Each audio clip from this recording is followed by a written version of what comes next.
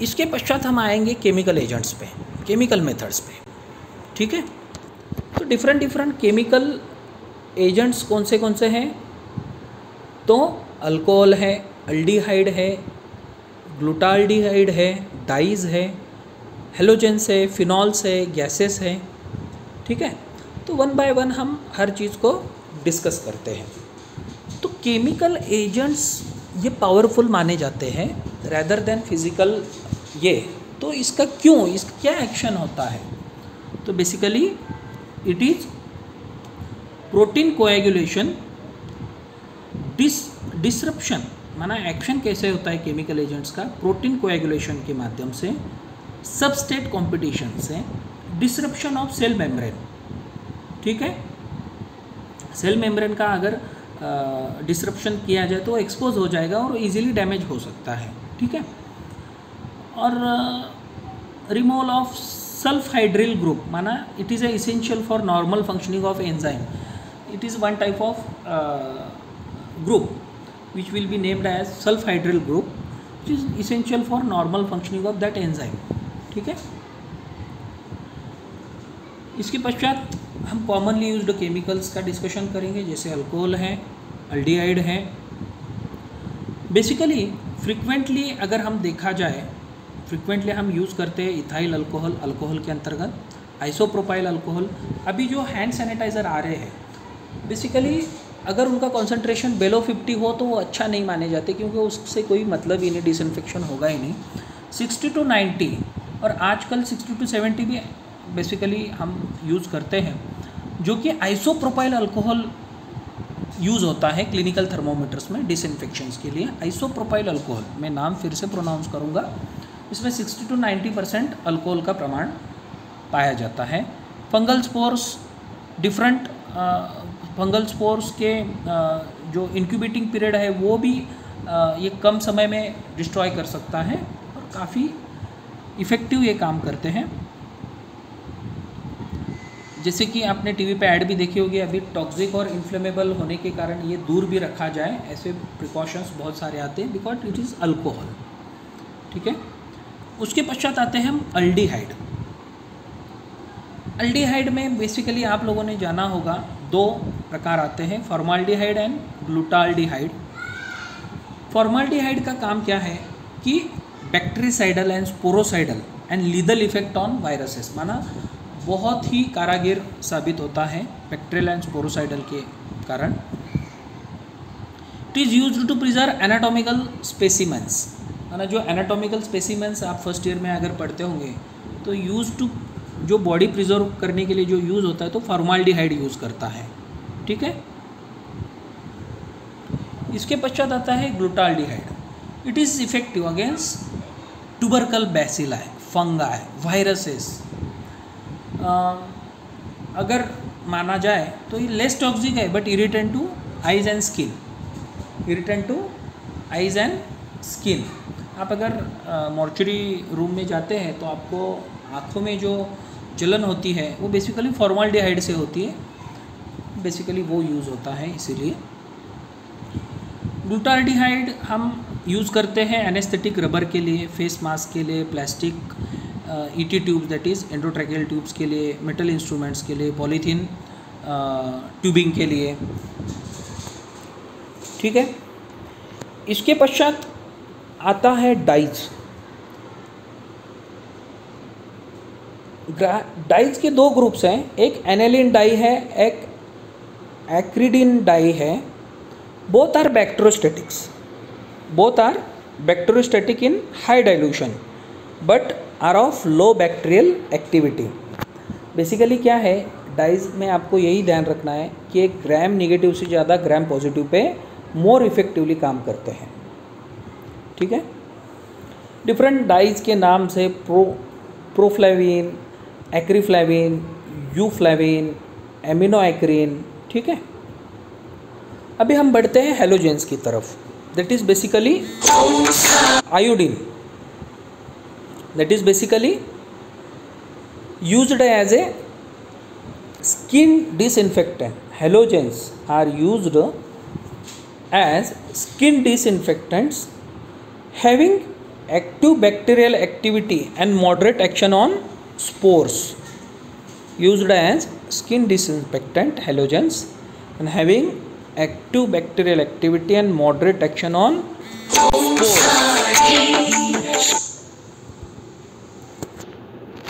sorry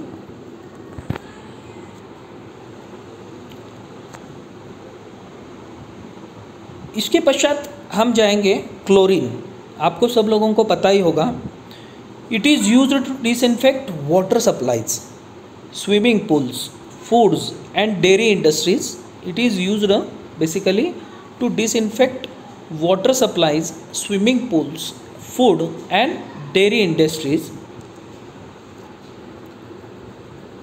along with hypochlorides are bactericidal also act and viruses ठीक है?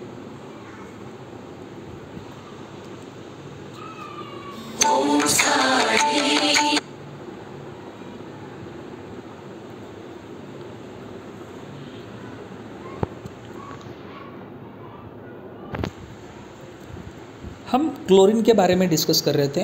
बीच में थोड़ा इंटरप्शन आ गया था। Chlorine it is a disinfectant water supplies swimming used in used to disinfect water supplies swimming pools food and the dairy products okay along with hypochlorites it will be act as a bactericidal ठीक है कभी कभी ये viruses पे भी काम आते हैं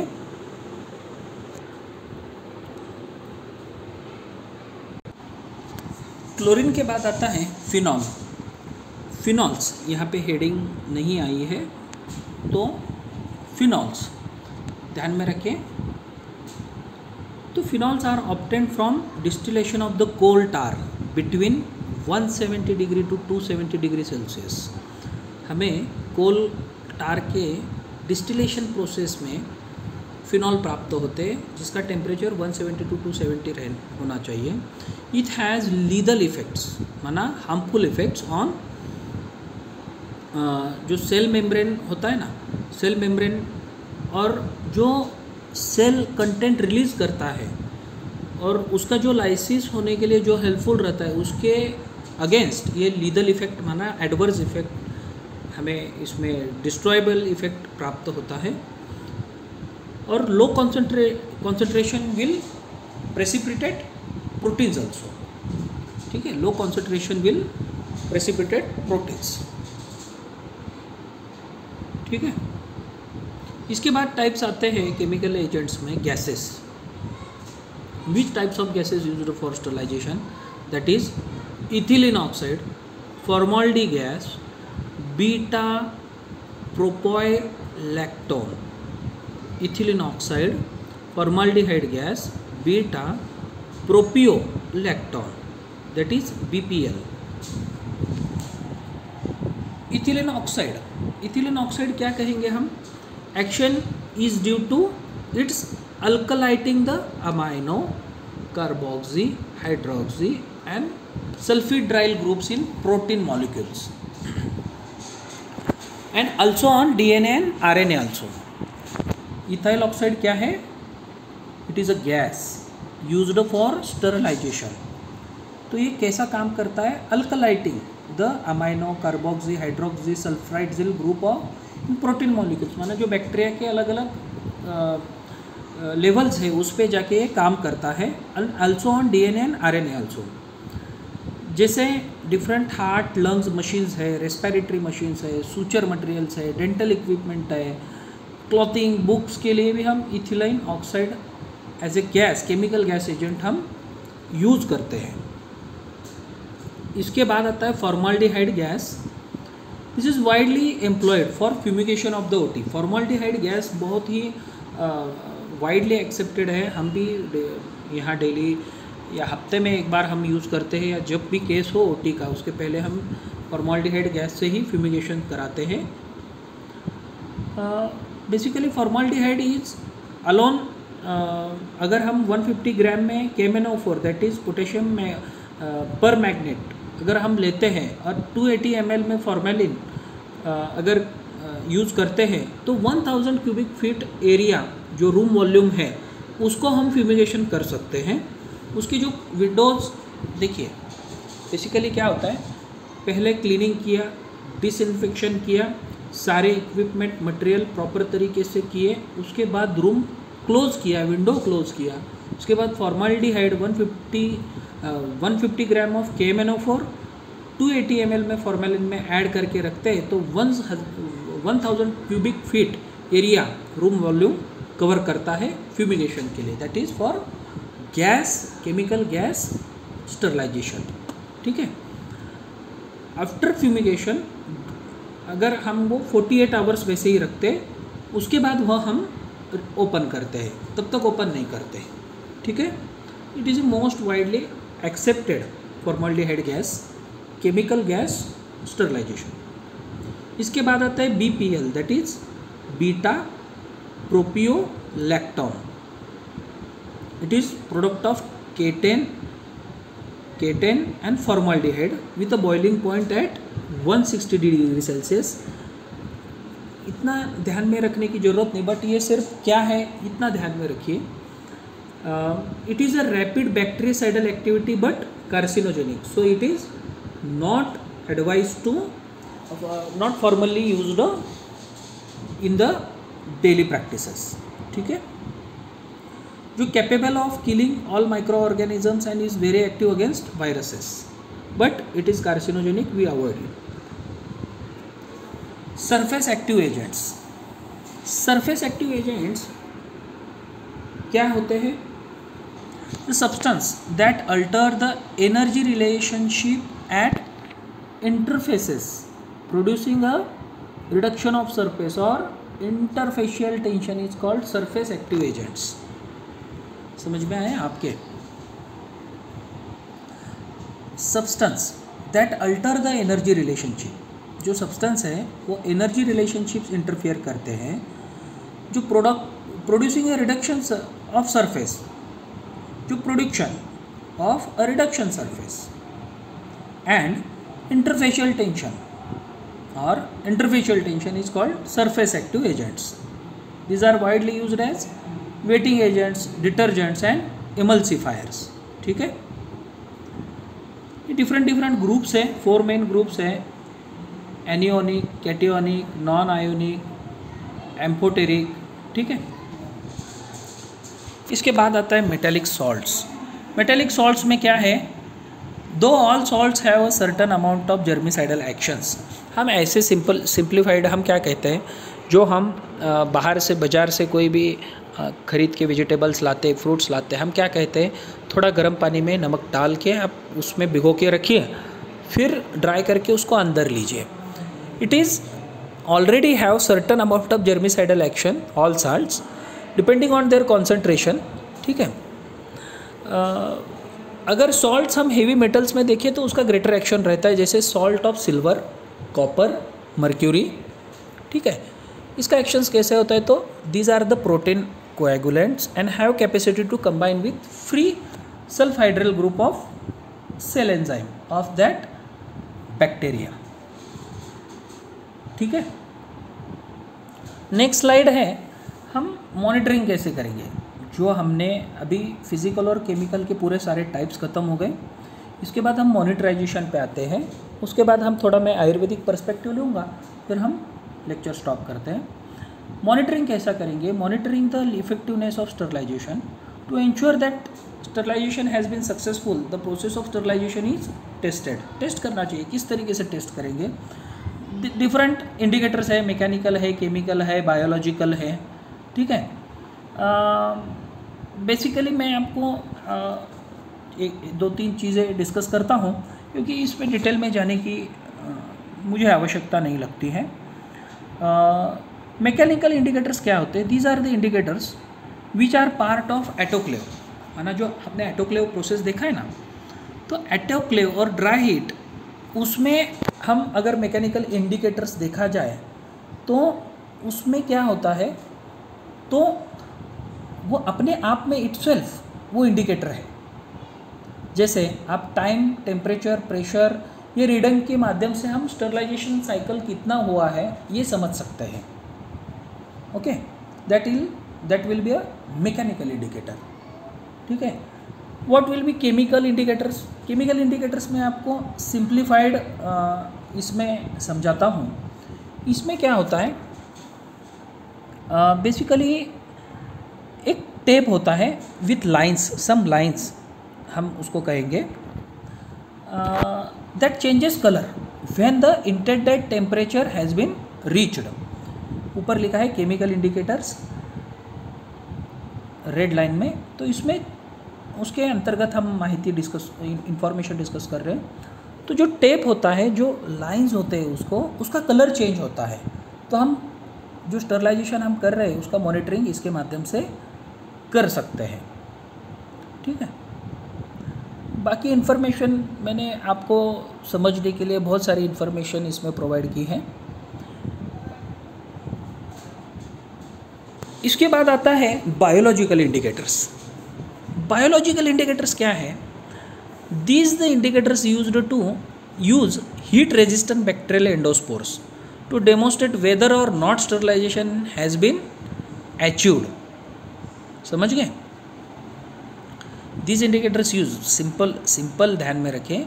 Use heat resistant bacterial endospores to demonstrate whether or not sterilization has been achieved ठीक है?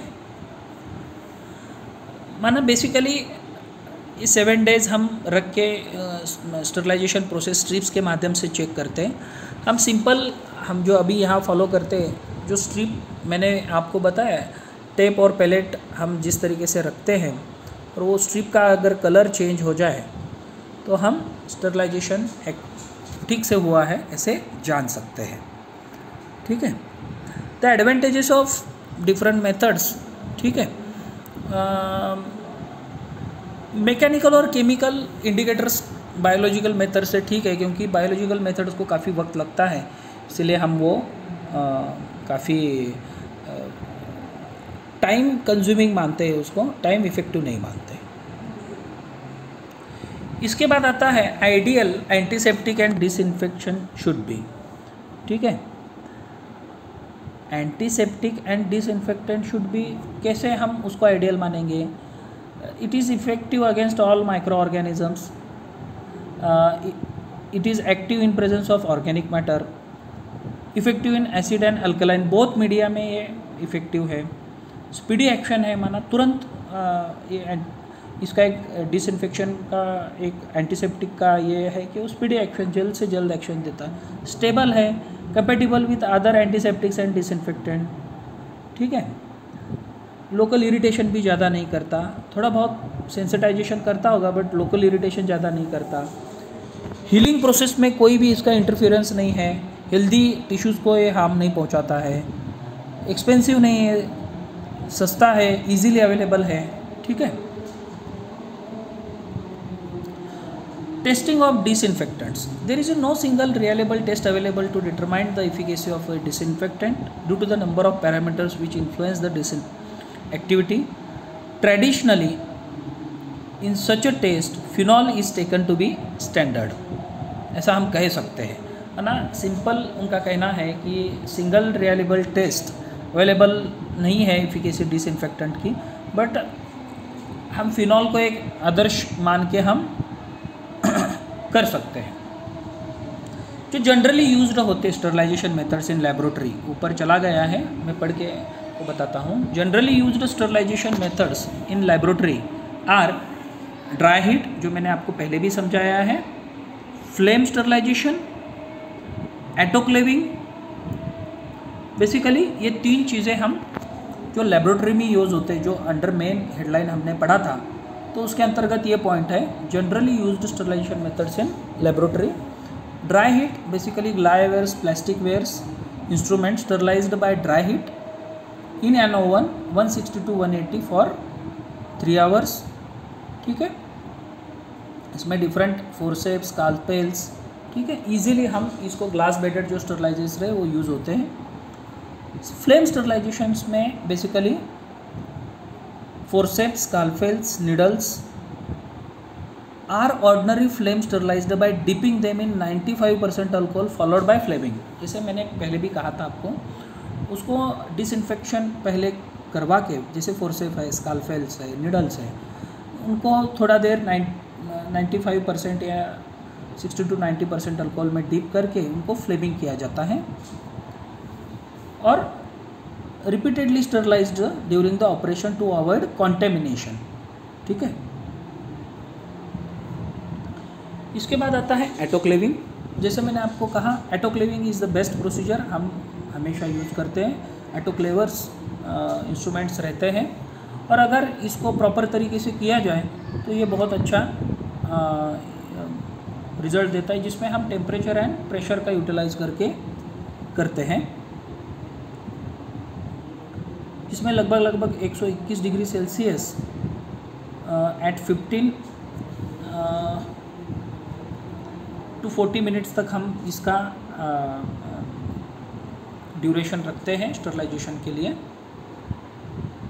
इसमें basically plastic ware and some instrument हम कभी कभी आ, मैंने आपको कहा था कि कभी कभी प्लास्टिक मेल्ट होने के चांस रहते हैं। तो हम उसको अच्छी तरीके से रैप करके रखते हैं, जिससे हम वो इंस्ट्रूमेंट या जो आर्टिकल रखा है, वो डैमेज ना हो। इसके बाद आता है आयुर्वेदिक स्टरलाइजेशन। ऊपर एक टर्म रह गया है, आपको मैं बताना चाहता हूँ। Ayurvedic sterilisation. What is Ayurvedic sterilisation? माना इतना हम मॉडर्न पढ़ने के बाद अभी आयुर्वेदिक स्टरलाइजेशन पे आते हैं। तो ऐसा कोई रेफरेंसेस या शास्त्र में नहीं मिलता है। बट असेप्टिक अप्रोच माना यंत्र शस्त्र को कर्म के पूर्व हमको ये कहा गया है। और बेसिकली जो शस्त्रागार है और व्रणितागार है, इसमें इसका बहुत अच्छे से वर्णन आया है। Prior to any surgical procedure preparation of patient and surgeon removing of hairs, cutting of nails, and wearing of clean and washed clothes have been advocated. Basically Ayurvedic aspects कैसा है? धूपन विधि एंड धूपन द्रव्याचा धूपन विधि में क्या करते हैं हम? Exposing the part of the article माना जो मैंने आपको अभी डिस्कस किया है जैसे हम फ्यूमिगेशन जैसे मैंने आपसे डिस्कस किया था फॉर्माल्डिहाइड एंड केबेनोफोर उस तरीके से कुछ दूपन द्रव्य के माध्यम से हम दूपन विधि अगर करेंगे तो क्रूमीज और रक्ष क्रूमीज और जो वायरसेस है, वो नष्ट होने के लिए हेल्प आयुर्, कर सकते हैं, ऐसे आयुर्वेद में वर्णन है।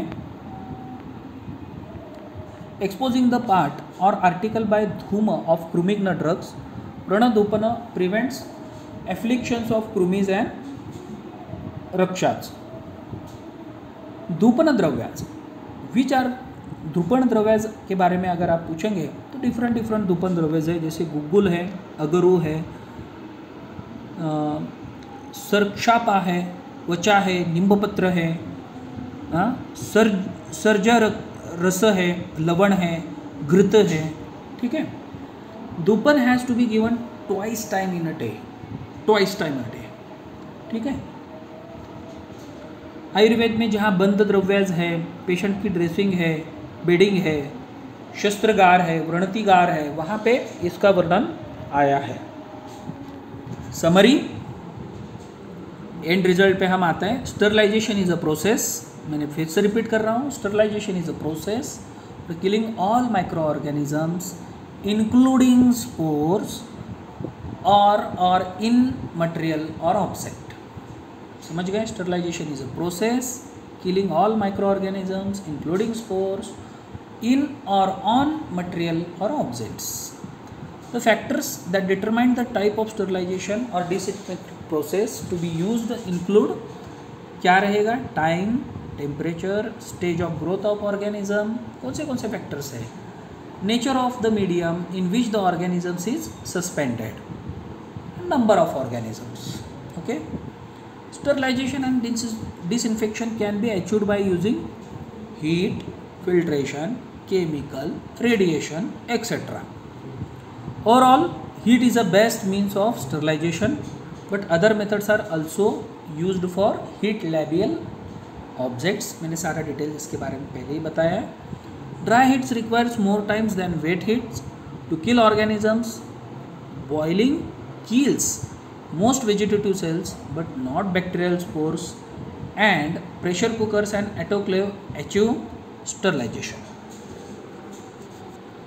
sterilization is most important procedure. Has major share in success of surgical management जैसे मैंने आपको बताया कि ऑपरेशन की कोई भी प्रोसीजर की पहले स्टरलाइजेशन और आइटोक्लेविंग के बिना कोई प्रोसेस स्टार्ट नहीं होती। इसके बाद धूपण द्रव्य, जैसे मैंने आयुर्वेद के बारे में बोला है, वो यूज़ करते हैं। और हमने एक अटेम्प्ट किया है, जिसके बारे में आयुर्वेदिक स्टरलाइजेशन प्रोसीजर भी आयुर्वेद में बहुत अच्छी तरीके से वर्णित की गई है। आप सभी का दिल से आभारी हूँ। आपने इतना पेशेंसली लर्न किया है। Thank you thank you for that